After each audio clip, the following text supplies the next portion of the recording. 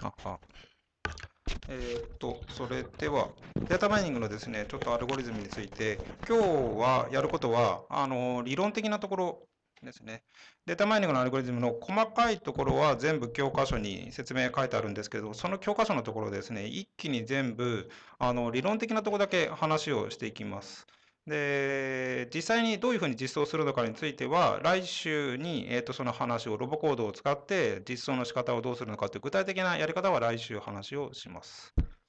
で、まずそもそもデータマイニングという言葉なんですけれど、まあ一応この授業のですね、主テーマにもともとはなってたんですけれど、最近あんまり、えっ、ー、と、この言い方よりもビッグデータっていう言い方をよくするので、そのビッグデータと基本的には大体同じような意味合いのことを言っている言葉です。で、どんどんどんですね、最近はそのいろんなものがコンピューター化されてくるので、えっ、ー、と、データがですね、膨大になってきていて、で、何でもかんでもデータが取れてくるわけですね。もちろんその、例えば、えっ、ー、と、監視カメラのビデオ画像とかもものすごい溜まってきていて、で、ディスクの容量もですね、非常に安くなってきているので、とにかくそれを消さずに全部溜め込んでおきましょうという世の中の流れがあります。で、貯めたはいいんですけれど、じゃあそれをどう利用しましょうかというのが、そのための一つの技術がデータマイニングと呼ばれているものです。で、まあ一応定義上はですね、そのデータの特徴を自動半自動的に計算機が学ぶ。えーとまあ、計算機が学ぶですね、機械学習の手法を用いてデータの特徴を自半自動半自動的に見つけるというものです。で、えーとまあ、特定の属性、まあ、これ前にもちょっと先週説明しましたけど、特定の属性と言っているのはですね、例えばゴルフに行くとか行かないとかっていう、その、えっ、ー、と、Excel のデータで表した時の列に値するものの、えっ、ー、とですね、その値を、え、ー、と決定づける。これ何を言ってるかというと、例えばゴルフに行くか行かないかを、えー、と調べるような、えー、と教師あり学習というものと、それをなんかはっきりした目的を持たずに、とりあえずデータをですね、なんかバッと調べてみて、その中の特徴を調べるという教師なし学習というですね、2種類のものがあります。で、この具体的な例の方が分かりやすいと思いますので、例えば教師あり学習と呼ばれるものは、ゴルフに行くか行かないかを例えば判定するような、えーとですね、学習をすると、どういう時にゴルフに行って、どういう時にゴルフに行かないかとかいうのをこう考えて、それをですね、自動的に導き出すと。これもちろんゴルフに行くか行かないかを判定できるということは、例えば風が吹くか吹かないか、もちろんこれ因果関係が逆なので、この条件の時に風が吹くっていうのは、それは因果ではなくて相関関係というその どちらかが原因になっていることではないんですけれども、例えばこの風の状況とそれ以外の状況の関係を調べると。ゴルフに行ったりするときはなぜか風が強いよねとかっていうようなですね、風の方を例えば調べるための、そのなんていうかその目的のデータとして、えー、と調べることももちろん可能ですね。ゴルフができるんであれば風についてもできるし、湿度についてもできるし、温度についても天気についてもできると。それが一つのこの属性というものを他のものから、えー、と調べるというかですね、特徴づけるというのが教師あり学習と言います。で、それ以外のですね、教師なし学習というのは、この中から何らかしらの特徴をパッと見つけるんですね。例えば、まあ、こちらの方が多分やりやすいのかもしれないんですけれど、例えばなんか晴れの時は温度が暑いですねと。当たり前といえば当たり前ですけれども、そういうですね、この中にある特徴を、えー、と見つけ出すようなアルゴリズムのことを教師なし学習と言います。で、えー、と今日説明をするのは、えー、とまずアルゴリズムで言うと、これだけのアルゴリズムの手法をざっとそのですね、エッセンスだけ説明をします。で、えーと、その前段階としてですね、データの前の処理、前処理っていうですね、えーとまあ、あのここのアルゴリズムにデータを渡す前にあらかじめしておかないと、ちょっとやりにくいというデータがあったりしますので、その話をですね、先週とちょっと被るところもあるんですけれど、そこを少し説明をします。まずは事前処理、データの事前処理の部分です。これ先週やったこのままのデータですね。まずデータ自体の形式なんですけれど、一応これがよく用いられている、統計学の中で用いられている、これぐらいのそのなんかデータの、えーっとですね、特徴というか、そのデータの厚データの型、型っていうんですかね。そのどういうデータなのかっていうのを、こうやってそのデータの種別を識別するものです。で、えーとまあ、先週やりましたけど、ざっと説明をすると、名義尺度っていうのは、これは人の名前であるとか、えー、とそのままラベリングしているものなので、それは同じか同じじゃないかぐらいしか、そのデータの処理としてはできないんですね。どっちが大きいとか小さいとかっていうのはありえないので、そういったデータのことを名義尺度。でそれに対して、えーと、順序性だけが唯一あるものが順序尺度。この順序尺度と間隔尺度似ているんですけれども、順序尺度というのは、基本的にはこの大と中の間と中と小の間は、あまりちゃんと定義されてないというものです。ここの間が大きく開いていて、中と小の間が大きく開いていて、大と中の間が小さいとかいうデータを順序尺度と言います。なので、ここの差が一定ではないので、こういう引き算みたいなことはできないですね。こういう処理のことをしてしまえないデータのことを順序尺度と言います。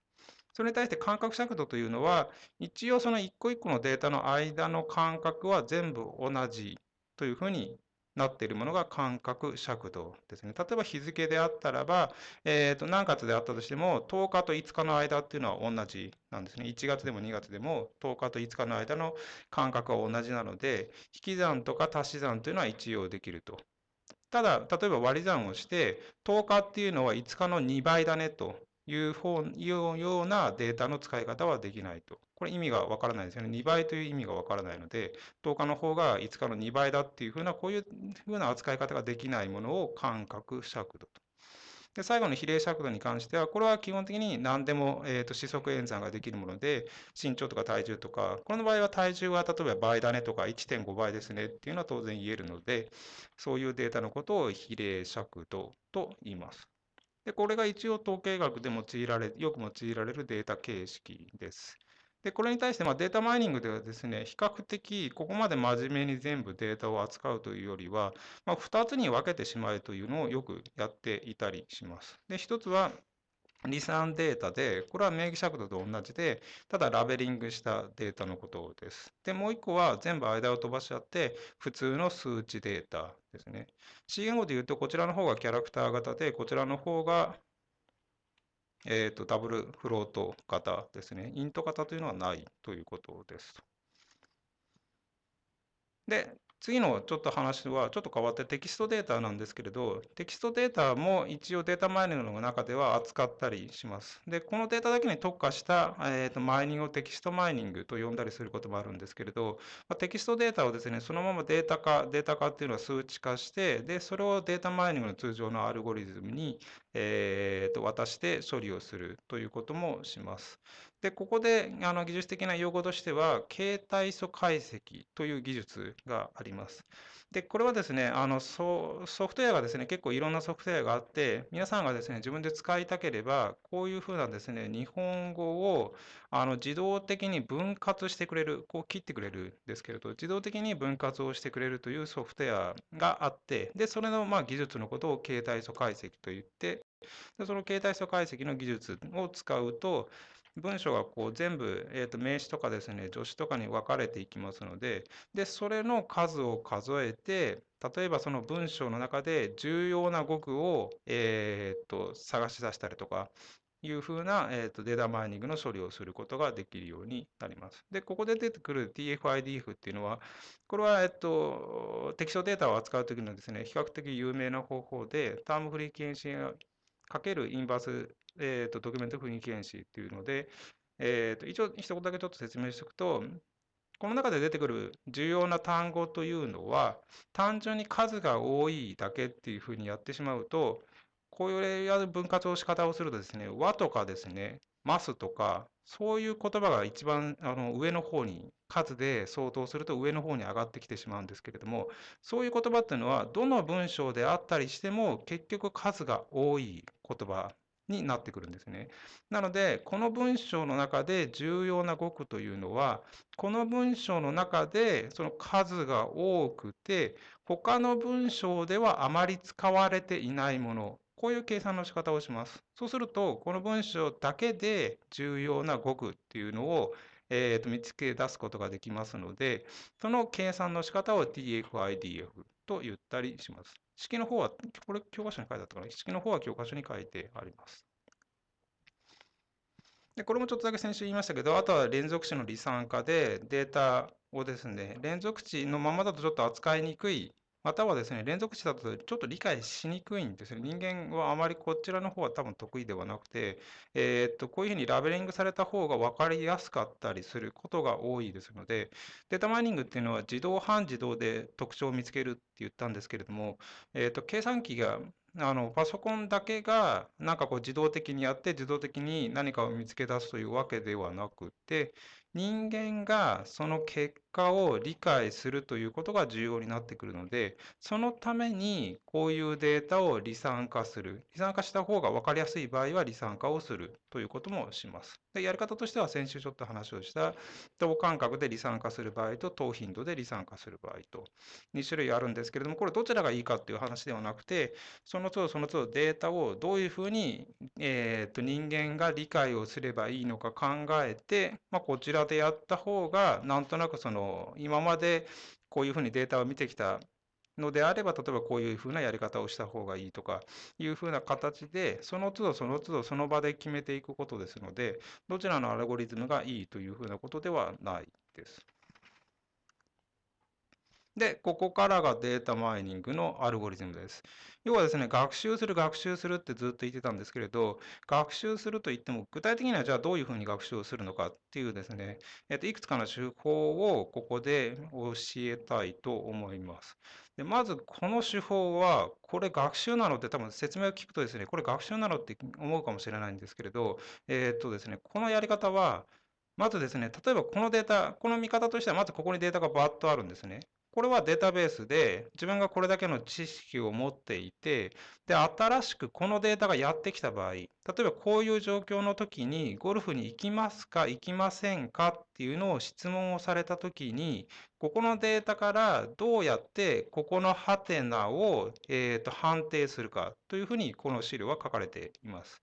で、このやり方、データ依存の手法は、この左側4つと一番似ているデータを1個探してきます。似ているっていうのはどういうことかというと、例えば1つのデータを持ってきて、これは、えっと、ここのデータを全部見ていくと、湿度だけが同じなんですね。なので、これ例えば1点として点数をつけて、で、最も似ているもの、この中から探すとですね、全く全部同じものがなくて、3点のものが一番、えーと、似ている、似ているというふうにですね、似ているデータになるんですけれども、これの×をこっちに持っていって、で、この場合は、えーと、ゴルフに行かないと。判定をします。例えばじゃあ似てるものが2つあって、×と丸になってたらどうなるかっていうと、このアルゴリズムとしては、例えば50%の確率で丸だとか、50%の確率で×というふうにします。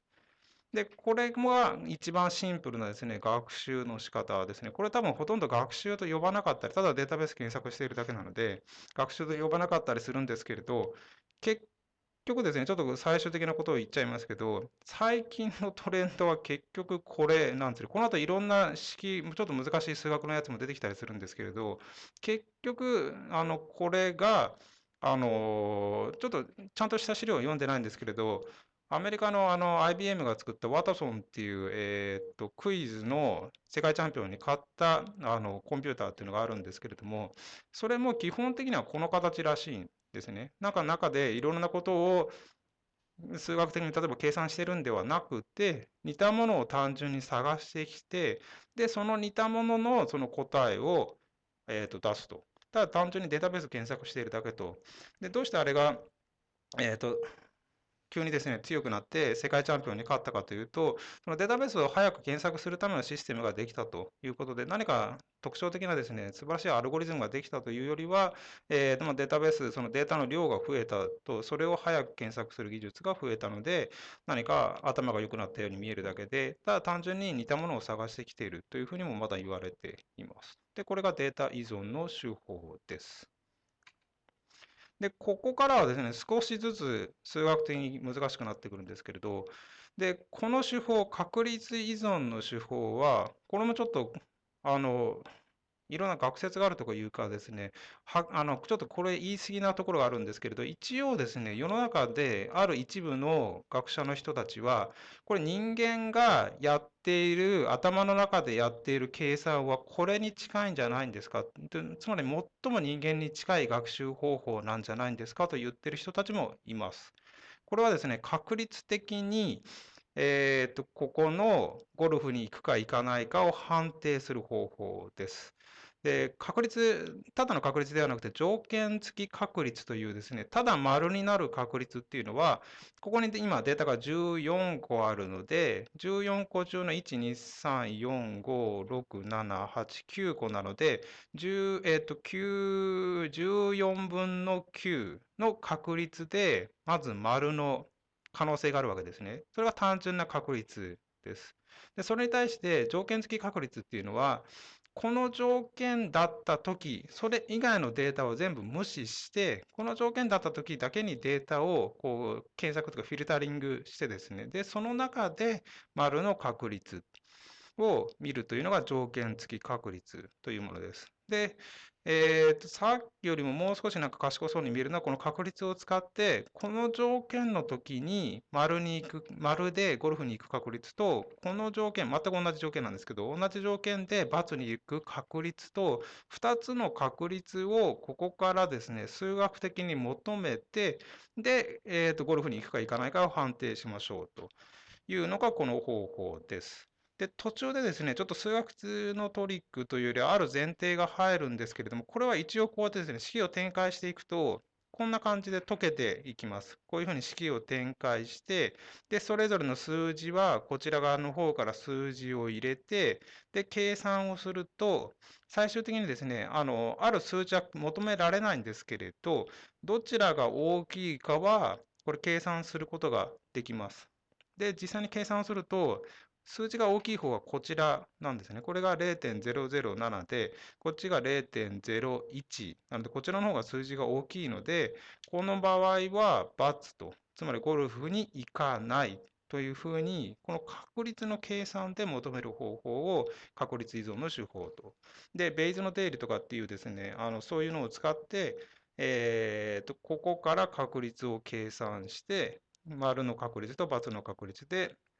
えー、とどちらになるかを判定するという方法です。で、最初に言いましたけど、これがまあ一応人間がこうやってんじゃないかというようなやり方なので、ちょっと気になる人はですね、ここの計算式そんなに難しくないですので、教科書のところをちょっと見てですね、確率依存の手法のところで書いてありますので、そこを見てみてください。これが確率依存の手法です。で、これは先週ちょっとも話しましたけど、今度はルールベースの手法です。で、これルールさから先にちょっと説明してみますけど、これはここから最初にルールを作り出しちゃいます。バッとこのデータがあるので、ここからゴルフに行くか行かないかのルールを作っちゃえば、あとは新しいデータはこのルールに従って、えー、とこうどこをたどるかこう見ていくと、ゴルフに行くか行かないかが分かるというものです。で、このルールを自動的に作るという技術があって、それを、えー、とやるのがこのルールベースの手法というものです。で、それ結果から言うとですね、このデータの場合で、あるアルゴリズムでルールを作るとこうなります。で、まず最初に天気で、えー、っと、分割というかですね、天気でまず分岐して、で、曇りの場合は、もうこのデータの場合必ずですね、ゴルフに行くので、ここはもう決定と。で、例えば天気が晴れの場合は、次は湿度を見て、えー、と高いか低いかでゴルフに行くか行かないかを判定すれば、一応ですね、あとこれ風の場合、雨の場合は、天気が雨の場合は、風で行くか行か、あの、ゴルフに行くか行かないかを判定すれば、一応このデータは全部きれいに分岐できるというルールが作れるので、で、それでこれを見ると、この場合雨なので、こっちですね。雨なので、こっち。で、次が風がありなので、こっち下。なので、この場合はゴルフに行かない。このデータはゴルフに行かないと判定されます。で、これをどういうふうにしてこれを計算するかというと、ちょっとだけ説明をすると、まずですね、これ何をしなきゃいけないかというと、ゴルフ以外のこの属性の中で、どれを最初の分岐点にしますかというのを計算で求めます。それはエントロピーと呼ばれるですね、まあ、エントロピーって言葉は有名なので、どこかで聞いたことあると思うんですけれど、エントロピーは減少しないとかとか、減少しないでしたっけ？エントロピーはどんどんどんどん増大するというふうに言われるそのエントロピーです。もともとは熱力学と呼ばれてたり、また違う説もあったりするみたいですけれど、えーと、エントロピーというですね、この計算式で、えーと、天気の場合の、えー、天気でもしも分岐した場合のエントロピーをですね、計算をします。まあ、この計算式はこんな感じの計算式で、晴れと曇りと雨と3つにデータを分割して、その3つのデータのそれぞれのエントロピーを計算して、もともとのエントロピーからどれだけエントロピーが減るのかっていう計算をします。で、それをそれぞれに、結局はですね、全部やらなくちゃいけなくて、温度の場合のエントロピーの減少、それから湿度の場合のエントロピーの減少という形で全部のエントロピーが、で、そこでもしも分岐したらエントロピーがどれだけ減るのかっていうのを全部計算していって、最も一番エントロピーを減らす属性を一番頭に持っていきます。あとはそれの繰り返しで、残った、またそこの次のデータのところ、ここ天気が晴れのデータだけのところから、それぞれの分岐した場合のエントロピーっていうのを計算します。で、最後ですね、これ全部ゴルフが、例えば丸だけになったりとか、×だけになると、えっ、ー、と、エントロピーがですね、最も、あれ？減るのかな？そうですね、最も減るんですね。エントロピーが大きいっていうのは、最も混沌としている。混沌とっていうのは、丸と×がどっちかわからないっていう状態です。で、えー、と最もはっきりしている全部丸とか全部×になるとエントロピーが一番小さくなりますのでエントロピーが0になるまでそれをどんどんどんどん繰り返してこのツリー、まあ、ツリーと呼ぶんですけどツリーを増やしていくというようなやり方をします。これがルールベースの手法です。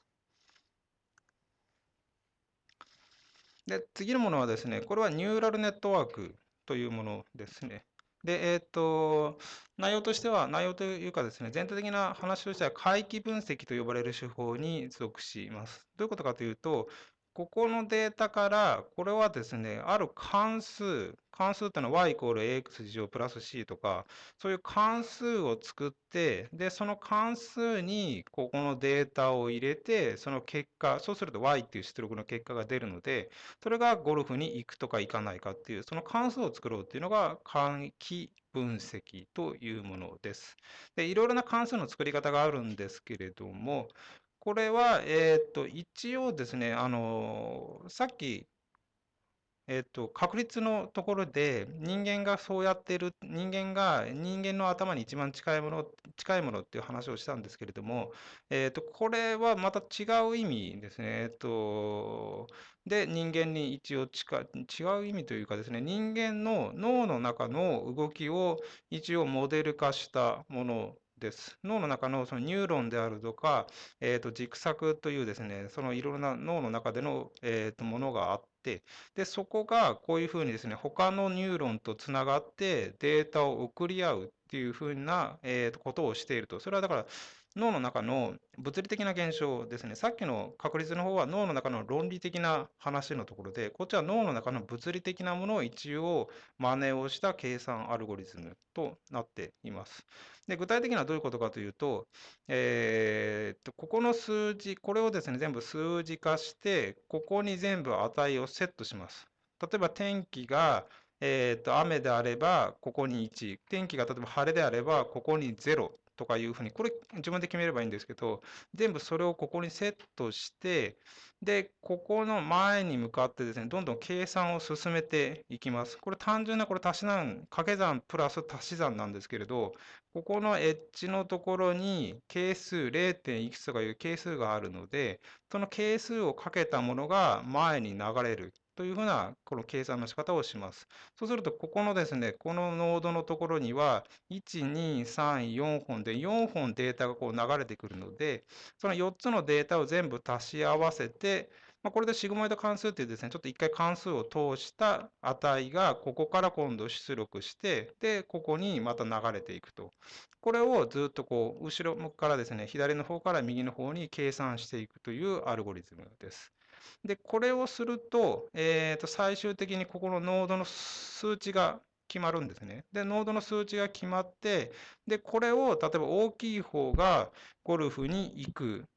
えーと、例えばこっちの方をゴルフの丸にすると、えーと、どちらかが大きいかを判定して、大きい方が、えーと、そのゴルフに行く、行かないを決めるというようなことを計算するのがこのニューラルネットワークというものです。で、えーとまあ、これ関数型ってずっと関数のを計算するって言ってるんですけれど、なんかこういうアルゴリズムはですね、結局はあの回帰分析の方法で、えー、ある値が入ったときに、こういう関数をいくつか通って、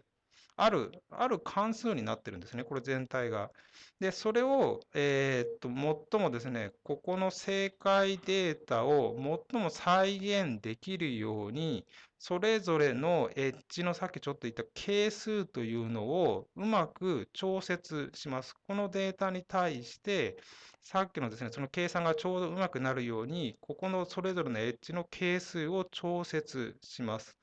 そうすると、このデータに関して、ある程度の精度で、このデータを入れると×になる。このデータを入れると×になるとかですね、それができるようになるので、それが出来上がったニューラルネットワークで、で、それを使って新しいデータを実際にここに入れてみて、計算をして、その結果で予測をするということをします。で、そのそれぞれの係数はどういうふうに計算するかというと、これはですね、えーと、微分方程式っていうのを解くんですけれど、これが、えーと、これを微分した時のその数値で、微分方程式というのを解いて、これはですね、数学的にはちょっとインチキ、インチキってことでいい加減な解き方をするんですけど、一応その微分方程式を解いて、で、その数字、ここからですね、全部一回計算してみて、で、正解データか、つまり当たったか当たらなかったかを、もう一回フィードバックして、それぞれのこのエッジの係数を何度も何度も計算し直すということをします。で、それを、つまりこのデータに対して何度もやってみてダメだったらまた元に返して、やってみてダメだったら元に返してっていうのをずっと、まあ正解だったらそれも正解のことを元に返してっていうのをずっと何度も何度も繰り返していくと、だんだんある地点でその数字が落ち着いてくるっていうかですね、あの、ある数値になって近づいていくので、で、その数字があんまり動かなくなった時点でニューラルネットワークは完成すると。で、このデータで完成させたら、あとはそれはそのまま使って、えっ、ー、と、ここのデータを入れると、ゴルフに行くか行かないかを判定すると。という方法です。ちょっと分かりにくかったかもしれないですけど、これが回帰分析による手法というものです。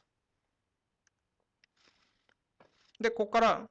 ここ変わるんですけれど、教師なし学習をちょっとだけ紹介、あと2つだけですね、ちょっとだけ紹介をして終わりにしたいと思います。で、この教師なし学習のまず1つ目は、クラスタリングというものです。これはですね、ここのデータ、今度教師なし学習なので、えーと、ゴルフに行くか行かないかを判定するわけではないです。えーと、ゴルフに行くか行かないかを判定するのではなくて、ここから何か自動的に特徴を見つけ出すために、この手法というのは、これをですね、自動的にあるいくつかのグループにグルーピングします。グルーピングっていうのは、その例えばこれの1番はグループ1に入りなさいと、2番に関してはグループ2に入りなさいという形で、これをグループの中に所属させます。ある理由、あのある計算方法で所属させるんですけれども、で、それでバッとグループに所属させると、これが今、例えば3つグループを作って、それぞれのデータをそれぞれのどこのグループに入るかまあちょっと計算するんですけど、どこかのグループに所属させます。で、それぞれのグループの特徴ですね。そのグループに入っている人たちっていうのは、ある似た特徴を持っている、えー、とものを集めるんですけれど、その何が似ているのかっていうのを見ていくと、例えばこの、あるグループ、これ7つのデータでできているあるグループっていうのは、えー、と雨になる。雨になったり、それから、えっ、と湿度が高い。で、えー、っと、ゴルフには行くんですね。ゴルフに行くグループと、ゴルフに行かないグループ、ここの多分クラスター3っていうのはゴルフに行かないグループ。で、ゴルフ、えーと、クラスター2っていうのは、これは比較的、まあ、まあまあゴルフに行くグループという形で、ここの、えー、例えばゴルフに行かないグループをじゃあさらに見ていって、じゃあゴルフに行かないグループっていうのは、えーと、このデータはどういうふうになってるんですかと見ると、ここに100%のデータがあるので、ゴルフに行かないグループっていうのは、湿度が高い。んですね。なので、ここでまあ最初の方のあの特徴でも出てくるんですけれど、ゴルフに行かないというのと湿度が高いっていうのは、どうも特あのその特徴としてあるのかなっていうのが、ここから判断していくことになります。で、話が元に戻って、じゃあこれどういうふうにグループに所属させるかというと、これはですね、最初のデータ依存の方法と同じで、ある2つのデータを持ってきて、で、それの似ているか似てないかを判定します。で、例えばこれ丸の個数での数が似ている、えー、と似ている、えー、とデータの場合は大きくなりますので、似ているか似ていないかのデータとして使うと、それぞれのデータで、えー、とその似ている度合いが全部計算できるんですね。で、このアルゴリズムはどういうふうにするかというと、とりあえずクラスター1、これがグループ1なんですけど、グループ1、グループ2、グループ3にランダムに1個ずつデータを入れちゃいます。まず最初にデータを入れちゃいます。で、次に入ってない、これで今3つデータが入りましたので、4つ目からのデータは、このクラスター1に入っているデータと似ているか似てないか、2に入っているデータと似ているか似てないか、で、3に入っているデータと似ているか似てないかを全部調べて、一番似ていたところに所属させます。例えば2に似てたら、今度、この4番目のデータは2に入れると。で、今度2のデータっていうのは、今その時点で2つになるので、その2つの今度平均をこのクラスター2の代表値として、次のまた新しいデータとこう全部調べていきます。まずクラスター1の方は5番目のデータがあったときに、クラスター1の方はまだデータが1個しかないので、その1個と比べて、2の方はその今2つデータがあったら、2つのデータの平均値と比べてどれだけ似ているかを計算して、3の方とまたどれだけ似ているかを比べて、一番似ているところにポッと入れると。で、これを繰り返していって、で、これはですね、実は一番最初に入れた3つのデータで決まってしまうことがあるので、1回それでグルーピングしたら、もう一度そこからやり直します。で、ここで例えばその時にデータが5個ぐらいあったら、そのデータの5個の平均を取っておいて、で、データを全部もう一回返すんですね。データを全部返す。で、全部平均を取っておいたやつだけ覚えておいて、もう一回一番上からどれが一番近いのかを全部調べていくと。で、これを何回かやると、えっ、ー、と、データがですね、データ間の移動が起こらなくなるので、で、そこでそのクラスターが完成するというふうになります。です。なので、この各えっとですね、データ7個あったり3個あったり4個あったりっていうのは、これは数はそれぞれその別に決まってるわけではなくて、最初に決めておくとのは、グループをいくつ作るかっていうのだけを決めて、で、そこに一番近いものを全部かき集めてくるということになります。で、繰り返しになりますけど、最後にこの出来上がったデータを見て、ここの中から特徴を見つけるというのが、これがクラスタリングという手法です。で、データマイニングのアルゴリズムとしては、これが最後ですね、相関ルールマイニングというものです。で、一応、データマイニングという世界の中では、この相関ルールマイニングというのがですね、流行ったおかげで、一応データマイニングというですね、言葉が、あの、発展したというかですね、進歩したことに一応なっていまして、ちょっと待ってください。うん、外した。で、えーとまあ、それは結局、あの IBM、これも IBM なんですけど、IBM でこういう相関ルールマイニングっていう作った人がいて、で、そこの中の一応逸話なんですけれど、これ最終的に嘘だってことになるんですけど、嘘っていうか、その逸話はあの嘘だったってことになるんですけれど、それあらかじめ言っちゃいますけれど、えーと、あるスーパーで、えーとですね、土曜日とかですね、金曜日になると、なぜか、あの、紙おむつ、赤ちゃん用のですね、紙おむつとビールが一緒に買う人が多い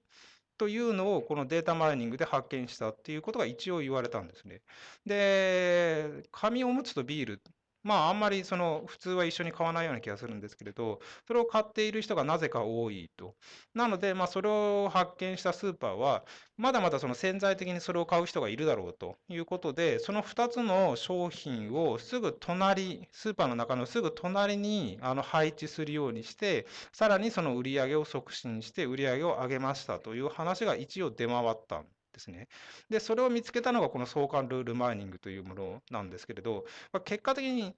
どうもでっち上げの話じゃないかってことになって、あまり今最近は信憑性がないんですけれども、それで一応データマイニングが流行ったという経緯があります。で、それがどういうことかというと、えー、と何か似たもの、よく一緒にですね、出てくるものを見つけるというのが、この相関ルールマイニングで、もう結果から言っちゃうと、このデータからその相関ルールマイニングをすると、曇りとゴルフに行くっていうのは、比較的一緒に登場しやすいんですね。4回出てきます。で、これはもうすでに見たと思うんですけど、それ以外にも、えーと、温度が涼しくて湿度が普通というのも、この中でですね、4回登場するというのを見つけてきます。で、このは、それ以外には、例えばこういうものが3回出てくるとか、こういうものが3回出てくるというのを、ここから自動的に見つけてくるというのが、これが相関ルールマイニングというものです。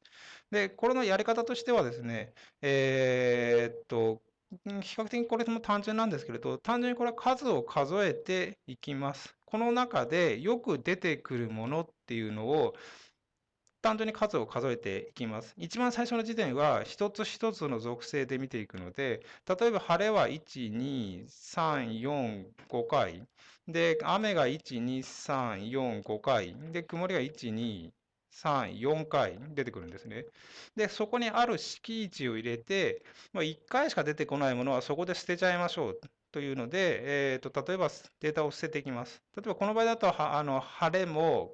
えーと、曇りも雨も1回以上出てくる。例えば2回とかにしといて2回以上出てくるので、残ります。で、ここもまたよく出てくるものを探して、で、ここもまたよく出てくるものを探して、で、よく出てくるもの一覧がここに出来上がるので、今度はそれの総組み合わせですね。例えば晴れで、えーと、暖かいとか、晴れで暑いとかっていう、そのすべての組み合わせを作って、またそれぞれがこの中に出てくるかどうかをこう調べていくと。で、こういうやり方をします。基本的にはこういうやり方で、あの、これを真面目にやるとですね、あの、基本的にはですね、データが膨大にあると計算量が爆発してしまって、えー、その答えが求められないんですけれども、そこをですね、ちょっとだけこの相関ルールマーニングでは工夫をして、すでに、あのたくさん出てきてないデータを含んだような何かですね、アイテムセットって言い方をするんですけれど、その組み合わせが出てきたら、それは、えーと、数を調べる前に捨ててしまうというですね、その、えーと枝狩りと呼ばれる技術を使って、で、それで調べていくと、一応その実時間、実時間っていうのはですね、データが膨大にあったとしても、一応その計算機を回せば答えが出てくるというようなアルゴリズムを作って、で、それをこうやって見つけ出すと。どんどんどんどんその下の方、下の方っていうのはですね、1個のアイテムセット、1個のアイテムセットが何回出てくるか。で、そのアイテムセット1個と1個を足し合わせて、その2個のアイテムセットが何回出てくるかと。で、2個と2個を足し合わせて、まあ4個になるんではなくて、3個に実はなるんですけど、3個のアイテムセットが何回出てくるか。で、それをどんどんどんどん調べていって、それが出てこなくなるまで調べるというのが相関ルールマイニングというものです。で、ここまでいくと、一応このアイテムセットと呼ばれですね、よく出てくるものからルールを作ることができます。で、このルールというのは、例えばこの天気が晴れである、天気が曇りであるならば、ゴルフに行く。で、確信度というのは、えーっと、この条件に一致するデータ、例えば天気が晴れのデータ、あ天気はすみません、曇りですね。天気が曇りのデータ4個あって、4個中4個がこのルールに当てはまるので、確信度は100%と。これ全部すみません、100%ばっかりですね。これ100%にならない場合は、例えば天気が曇りのデータが5個あって、そのうちゴルフに行くデータが4個だと、確信度が、えー、と5分の4という形になります。で、この確信度と、えー、とここのですね、さっきちょっとだけ言ったデータをですね、切り捨てるその最小回数、2回以下のものの2回以下しか出てこないデータはもう消してしまいましょうというその2つの、えー、と数値をうまく調節してこれのアルゴリズムを動かすというのがこの相関ルールマーニングというものです。はい。ということで、だいぶ長く話しましたけど、ついでにですね、で、えー、とこれは来週具体的な話をしますけれど、で、これらを使って、弾の命中精度を向上させるというのを来週具体的な方法をお教えします。でこれ何度も見せていますけど、スナイパー2の問題点というのは、これなんですね。ちょっと先に見せますね。今3、3は多分動かない。2ですね。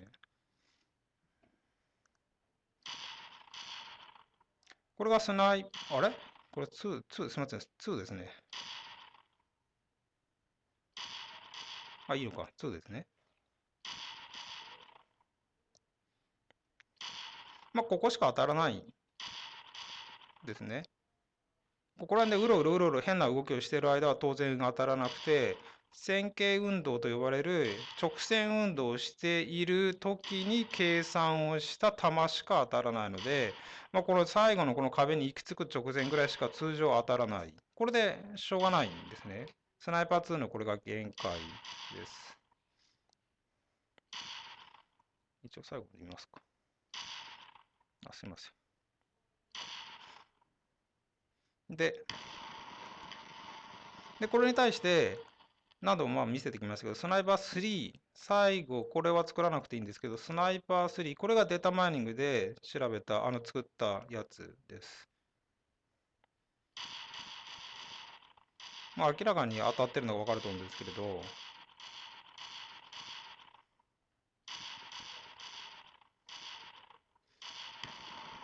こうなりますね。これがスナイパー3です。で、スナイパー2はどうして当たらないかというと、線形運動の計算しかしていないので、ここら辺にいるときは、えーと、そこで計算してここに行くっていうのは分かるんですけれど、ここら辺で計算して、あの次にどこ行くかって計算すると、絶対ですね、このスナイパー2はここら辺に行くと思って、弾を撃ってしまうので、当たらないと。これは予定通りなんですけれど、それから、えっと、このロボコードはですね、一応加速、そのいきなりトップスピードになるんではなくて、途中でこう加速するんですね。一応、その中では、あの加速するような計算をしているので、加速の途中で、この、え、っとスナイパー2が計算をしてしまうと、当然一定速度ではないので、それも計算を外してしまう理由なんですね。なので、このスタート地点からちょっと行ったぐらいで、これが計算を始めてしまうと、それも当たらない。ということで、ここのですね、一番最後に行き着くところ付近でしか弾を当てられなかったというのがスナイパー2です。で、これに対して、じゃあどういうふうにやればいいのかというと、スナイパー3、先ほど見せたですね、スナイパー3は、あれ、中のアルゴリズムはですね、データ依存に確かしてるはずですね。一通りいろいろやってみたんですけれど、結局ですね、データ依存の、えー、と方式が、まあ一番シンプルで、結局正性能もいいので、えー、とデータ依存のものでやっています。で、どういう、こういうのを作る場合にですね、どういうデータを学習すればいいのかっていうの、これを決めるのが基本的にはですね、一番重要になってきます。でいろいろと試してみたんですけれど、最終的なのであのスナイパー3でやったものは、えー、と相手の位置と向きと速度を、えー、と記録しておいて、最終的にこの砲塔の角度ですね、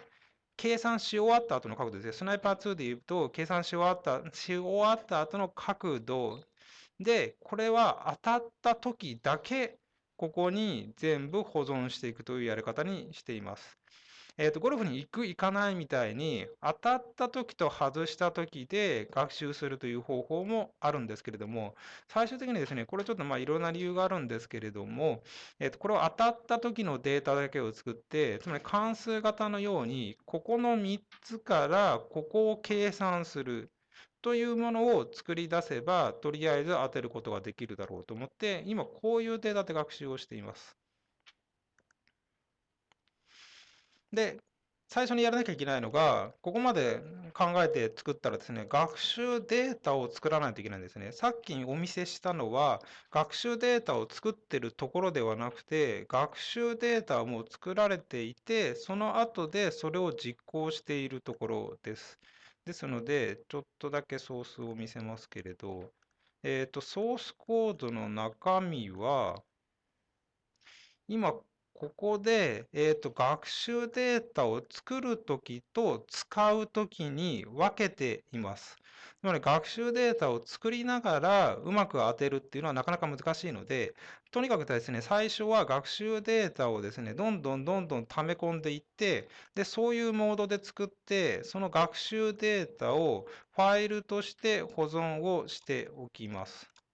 そのファイルが実はこれなんですけれど、このファイルとして保存をしておいて、中身がこんな感じになっていて、これが上かのというですね、データマイニングアルゴリズムの、えー、すみません、データマイニングツールの形式のデータの保存の仕方なんですけど、これで保存をしておきます。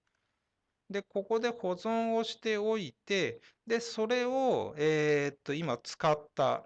今度は学校の場合、今のこの場合、もう学習は終わっちゃってるんですね。だからこれは成功しようが失敗しようが、もうこの結果は保存してないです。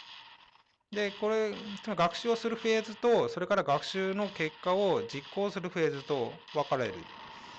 ということになります。で、その学習のデータをじゃあどう作りますかっていうのは次にやらなきゃいけないことですね。で、学習のデータをどう作るかっていうのなんですけれど、えー、とこれで例えばスナイパー2が弾を当てられるので、じゃあスナイパー2を使って弾が当たった時のデータを保存していくと、実はこれがうまくいかないんですね。スナイパー2を使って弾が当たっ、これが一番弾を当てられるので、これを使って学習データを作っていくと、実はうまくいかなくて、で、それはなぜかというと、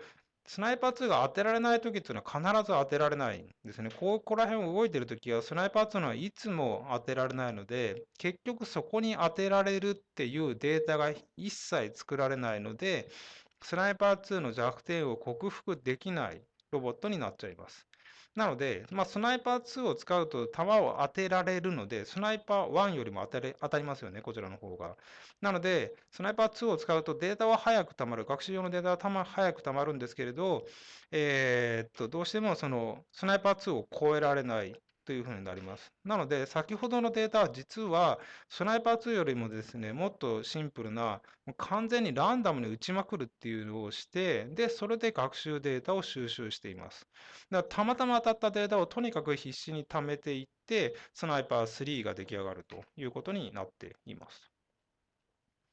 で、それをですね、まあ、実際にちょっと調べてみたりすると、えーと、スナイパー2を使った学習データで動かしたスナイパー3の弾の当たる率っていうのは5割ぐらい、一応ちょっと上がるんですね。やっぱり、まあ、弾に当たってしまうことがあるので、ラッキーにですね、そういうのをうまく記録してくれるので、スナイパー2、スナイパー2のもともとは、もともとは2割ですね。もともとは2割なので、一応上がりはするんですけれど、まあ、どうしても5割を超えないということになります。で、今度スナイパー3に、えーと、スナイパー3というので、ランダムで生成したその学習で、ランダムに弾を発射するもので生成したものを使ったスナイパー3、スナイパー3は8割を超える。まあ、それでも実はこれ9割いかないんですけれど、8割ぐらいになります。今のところ多分ここら辺が、えーと、私の作ったやつは一番良くて、これ以上上げるためには、多分ですね、スナイパー、つまりスナイパー2の、えーと、レポート見てないですけど、スナイパー2でレポートの時に、最後にあのちょっとだけ言ったのを覚えてるかどうかわからないですけれど、えーと、スナその答えもちょっと言っちゃいますね、ついでに。それがこれに関係するので、スナイパー2で、あのぐるっと逆回転、砲塔を逆回転すると当たりませんよって言ったんですね。これちょっとすみません。これ、そうか、動画で撮っちゃうと来年使わないんですよね。これ打つときに、これたまにあのそのまま作っちゃうと、砲塔をぐるっと逆回転させて打つっていう時がありますよね。で、あれをやると実は当たらないですよって、スナイパー2、スナイパーの時は別に良かったんですけど、スナイパー2の時はうまくいかないですよって言った理由は、ここの数学の計算をするときに、まあ一回言っちゃいますか。数学の計算をするときに、あれこれじゃない。あ、いいのか。これですね。この数学の計算をするときに、その答えなんですけれど、数学の計算をするときに、1個だけ入ってない計算式、あの考慮してないところがあったんですけれど、この砲塔を回転させる時間っていうのをこの中に入れてなかったんですね。あの、ある位置からある位置までポートを回転させるためにもそこにも時間が必要なので、この t っていうのは、ここで弾が当たる時のこの時間のことを言ってるので、砲塔の位置がすでにこの赤い位置を向いている状態で、そこから撃ったということを想定してこの式を全部作っているので、実際にはこっちを向いているわけではなくて、違うところを向いているので、違うところからこの赤いところまで向けるだけの時間、そこに必要な時間っていうのをこの式の中に入ってなかった。で、入ってないので、ちょっとぐらいだったら、あの、大体うまくいくんですけど、あまりにもですね、ぐるっと回転させちゃうと、その時間分だけ遅くなって、弾が外れてしまうと。これがスナイパー2が外す一つの理由です。で、それと結局同じようなことがこちらでも起きてるというのがさっきのま8割ぐらいしかいかない理由で、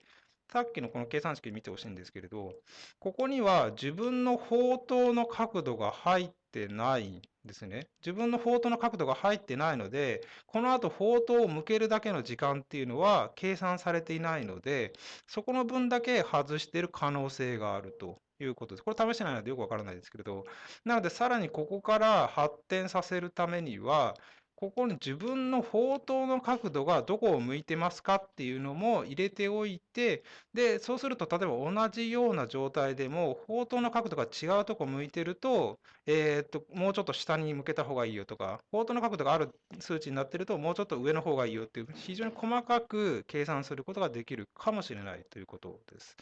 なので、ここ最後100%にならないっていうのは、すべてのことが考慮されているわけではないので、100%にならないと。多分、ロボコードの場合って別に、その、風の摩擦とかですね、そういうのは何もないので、理想的には多分最後100%になるはずですね。ということで、これが、えー、と学習用の、その、なんとか、えー、とスナイパー3の話です。最後のこの1枚だけスライドがあるんですね。1枚だけスライドがあるのは、学習データっていうのはですね、とにかくある程度たくさん貯めなきゃいけないですよ。ある程度のその量を作らないといけないですよっていうもので、で、どれぐらいのデータ数があるかというと、えっ、ー、と、これが今、学習用のデータ数がこっちの方の数字で、例えばこれ5000個、5000個のデータがある場合、それからこれがその当たった、当たる率ですね。で、これちょっと見にくいですけども、ここら辺が例えば2500だと2000ぐらいまではデータ数が増えていくと、そのまま当たる率は増えていくと。当然これはなんとなく皆さんわかると思うんですけど、データが増えていけば、学習用のデータが増えていけば、当たる率は高くなると。ただこれは頭打ちがあって、結局これはアルゴリズムに依存するわけですね。それ以上は、所詮似たデータが入るだけで、新しい状況を何も理解していないので、ちょっとたまに上がる時もありますけど、結局データ数が増えて、その率が下がる時もあります。つまり余計なことを覚えてしまったために、えー、っと、せっかくここで良かったのが、また余計なことを覚えて、また悪くなってしまうっていうことも、これはあのですね、普通に人間と同じように学習アルゴリズムの中にはあるので、データ数が大きければ大きいほどいいというわけではなくて、データの中の多様性ですね、いろんな状況に合わせたデータがうまく作れると、学習の率が上がるということです。ということで、珍しく1時間ぐらいし、1時間も喋ってないですね。ということこれが、ここまでが、えーと、データマイニングのアルゴリズムです。はい、終了ですと。